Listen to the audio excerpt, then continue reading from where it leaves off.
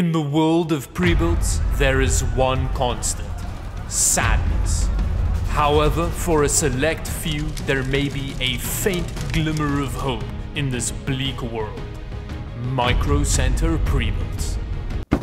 And I actually managed to get my hands on one, which was surprisingly difficult to do, considering that Micro Center has made owning one of these systems in Canada punishable by death which meant I had to have this PC smuggled over the border inside a UPS delivery person, which means I probably shouldn't touch the box anymore. Um, but anyway, before we check out the system, it's time for a word from today's video sponsor that helped me pay for all the bribes. Today's video is sponsored by Corsair and their MP600 Pro LPX NVMe drives with some crazy specs. Look at those read and write figures. Mmm. The Corsair MP600 Pro LPX drives are available in capacities up to 4TB, and with its high-endurance 3D TLC NAND flash and its low-profile heatsink, it's a great option to upgrade the storage not only on your PC, but also your PS5. So if you're addicted to hoarding games and you need some high-quality storage in your life, check out the MP600 Pro LPX with the link in the description below. Thanks Corsair for sponsoring today's video.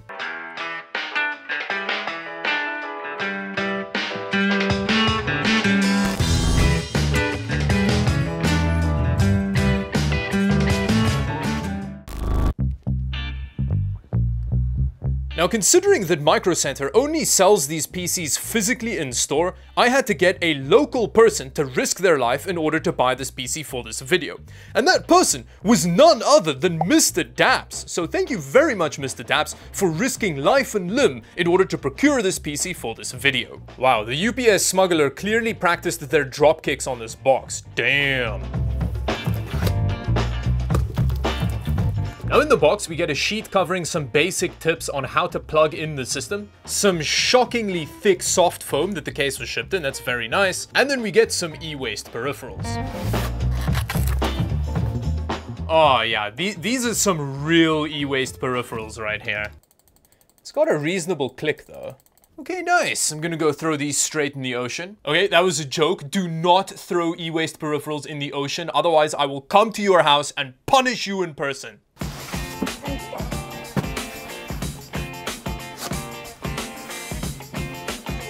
Now looking at the front of the case, you can see that there is a solid front panel. But there is some functional ventilation on the side, and there's no hardcore fan choking going on against this front panel, so it, it, should be fine. In terms of front I.O., I'm not sure if this is USB 3 or not, but we do have two ports, a reasonable power button, and a microphone headphone jack. And generally, the build quality feels really good. It's a nice sturdy little case. Now, in my opinion, the power supply placement is not ideal. Uh, there's no ventilation in the top of the case, which means the power supply can only draw used hot, sloppy seconds air from inside the case, which that's not great. Now, in terms of rear I.O., it is very usable, and we have what looks like the back of a very nice graphics card in here. Uh, so with that, let's open up the system.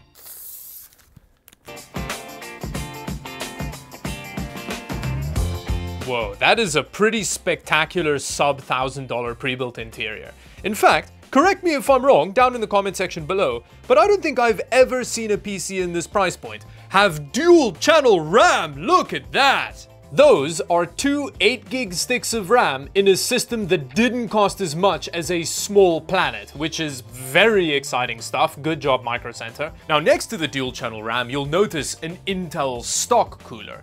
Now at this price point, it's quite difficult to complain about a pre-built unless it gains sentience and starts nuking Croatia. But an Intel stock cooler is not much better than nuking Croatia, Although, the CPU under there is an i5-12400, which is a very good CPU, and the stock cooler should more or less be able to manage it, so it's not that bad. Uh, other than that, the motherboard's got some nice little VRM heatsinks around it, and that is actually an ASRock B660 board, which is a standard M-ATX motherboard, which means you can upgrade that at some point. In fact, there is nothing proprietary inside this system, which is very exciting. Uh, in terms of the SSD, we have a 1 terabyte NVMe drive, which is again awesome for the price. It comes with a PowerColor Hellhound RX 6600, which I love. I really love these Hellhound cards, they're amazing. Uh, and actually, in terms of the price of this system, before tax and everything, I paid $900 for it, and the final price, the final final price, was 999, so $1,000. And honestly, for that amount, there is very little to complain about in here. Normally, you'd be lucky if you got a 1650 and a firm spank on the butt for that. I just can't wait to see how this thing's gonna perform. Now, the only thing that I'm not entirely sure of in this system is the power supply, which is this 650 watt, 80 plus gold rated PowerSpec unit. Now, PowerSpec is Micro Center's brand, but I don't know who the OEM is that makes this power supply for them. Oh no, there's a slight little scratch on the case. Even around the back, we've got reasonable cable management. You can see that we have all of our cables stuffed in the top here so that if we do need some Molex or SATA later down the line, we do have access to it, which is nice. There's also a big cutout on the back of the motherboard plane, which is pretty standard, but it does make it much easier to swap out the cooler on this system, which we'll do that later in the video. We'll swap out this stock Intel cooler and see how much of a benefit that gives this system.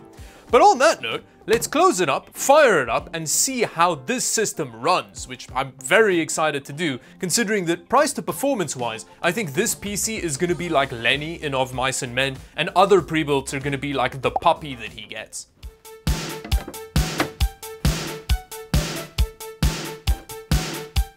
Uh, Windows 11. Okay, VD, let's see what they've got for us on this PowerSpec PC. There's an activation helper thing that's prompting if it wants us to install internet security. Okay, so I'm guessing that is a uh, an antivirus. Uh, so I'm gonna say no. Do you want to remove yes?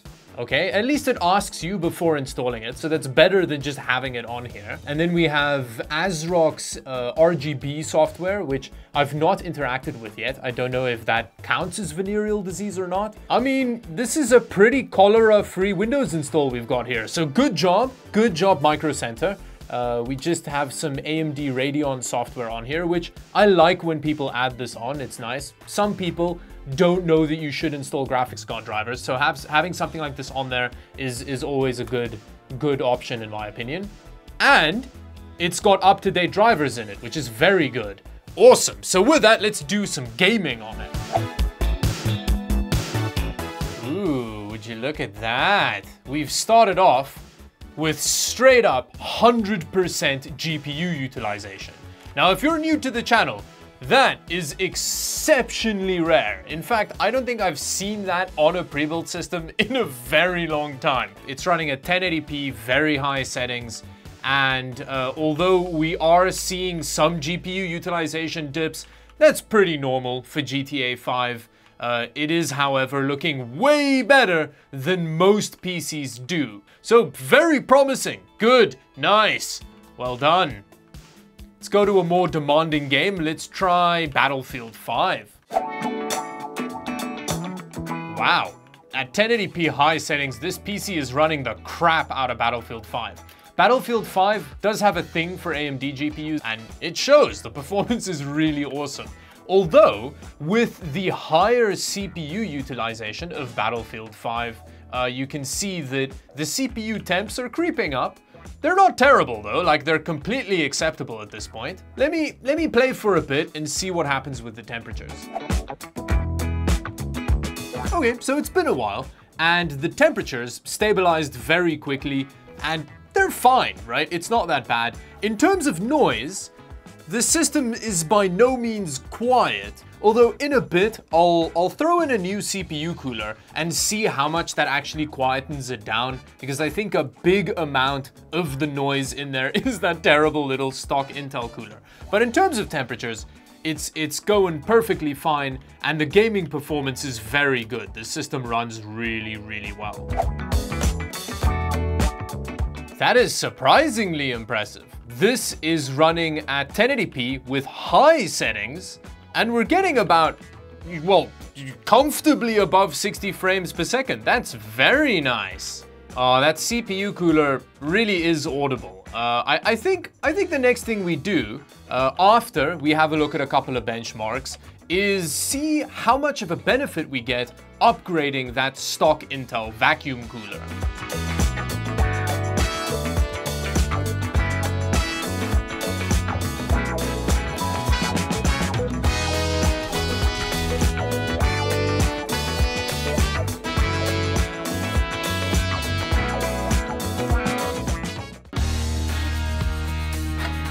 Now having a look in here, I actually think that cooler compatibility is going to be quite a big problem because this case is quite shallow. There's not a lot of height clearance for a cooler.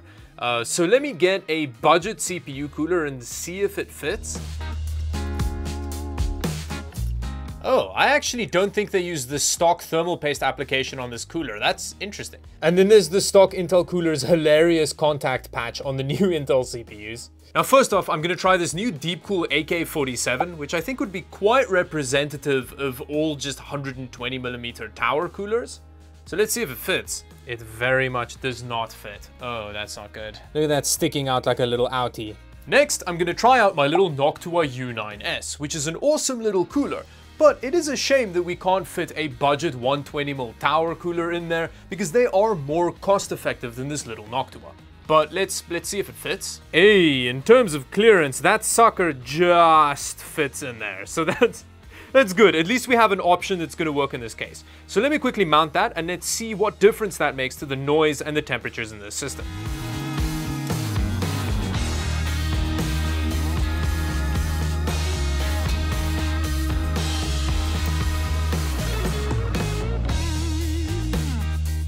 Now I've been playing for a while and the temperatures are quite a bit better on the CPU, but the better temperatures are definitely not the main thing. The system is way quieter. And there's something really annoying about the frequency of sound that that little stock Intel cooler makes, uh, whereas this Noctua cooler, it's, it, it's just a lot better.